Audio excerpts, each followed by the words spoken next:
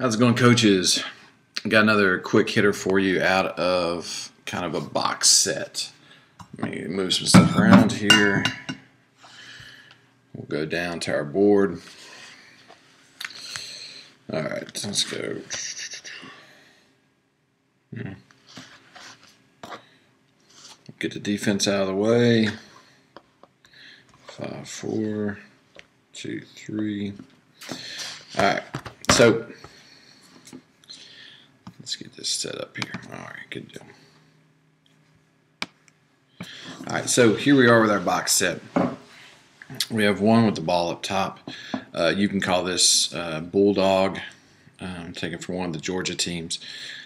So you have one, your bigs up top, 5 4, down low, 2 and 3.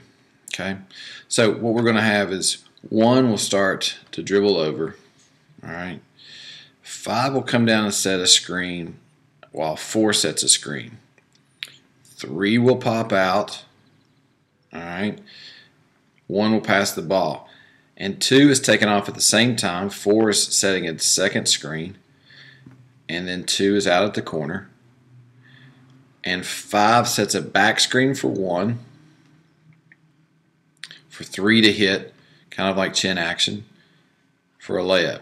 You also have the option that if if one doesn't get the ball, three could have hit two, three could have hit two for an open corner three.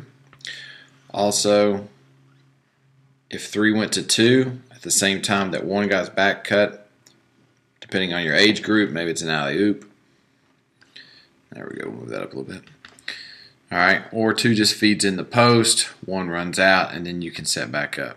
All right, but again, if we're looking for a quick hitter, which is typically what we are here. All right, we inbound the ball, bring it up. And as soon as we cut across, both bigs set a screen. Four sets it for three, five sets it for two, and then four sets that double screen, pass the three, so I have two in the corner, four here, and then five immediately after that screen comes up here, sets a back screen for one, and then that pass should be open because your defense should be guarding four. Maybe they're playing help side on two. Three's here, five's defenders there, and one's defender just got screened. So one more time, we'll run Bulldog. We'll put a defense with it now.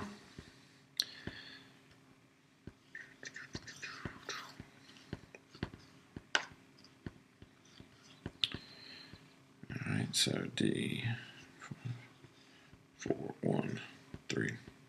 Okay. So again, I set up in that box set. Typically, your two big players up top.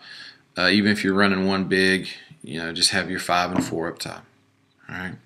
So four comes down, screens for three, as one dribbles across.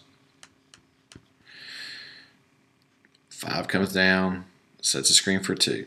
Three pops out, two's running across, two, four sets another screen for two.